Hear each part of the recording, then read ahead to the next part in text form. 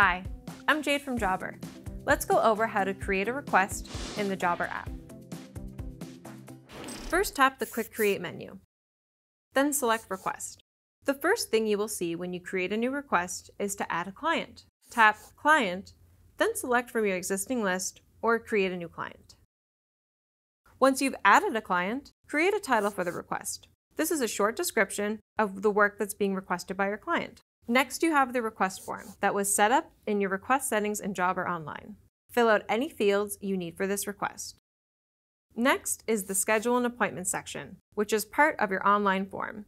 This section is a way to record your client's availability and what dates work best for them, but it does not book anything into your schedule. To get this work booked, schedule an on-site assessment. This blocks off time on your schedule to visit the client's property, write up a quote, or anything else you might need to do before this work progresses. From the assessment details section, tap Schedule. Here you can add assessment instructions for your team, select a date and time, and assign team members. Tap Save Assessment once you've entered all the information, then Save Request once you're finished adding all the information to this request. You can review the assessment info, like the instructions, the request form details, the client information, or add notes.